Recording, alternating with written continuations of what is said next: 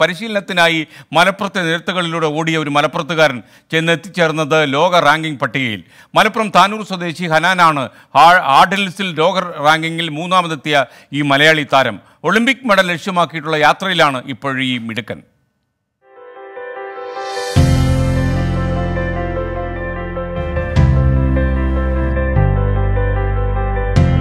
അന്താരാഷ്ട്ര athletic federation പ്രസിദ്ധപ്പെടുത്തിയ രണ്ടായിരത്തി ഇരുപത്തൊന്നിലെ ലോക റാങ്കിങ്ങിലാണ് പതിനെട്ട് വയസ്സിന് താഴെയുള്ള ആൺകുട്ടികളുടെ നൂറ്റിപ്പത്ത് മീറ്റർ ഹഡിൽസിൽ മുഹമ്മദ് ഹനാൻ മൂന്നാം സ്ഥാനം നേടിയത്. ഈ വിഭാഗത്തിൽ ഒരു ഇന്ത്യൻ താരം ആദ്യമായാണ് ആദ്യ മൂന്ന് സ്ഥാനങ്ങളിൽ എത്തുന്നത്.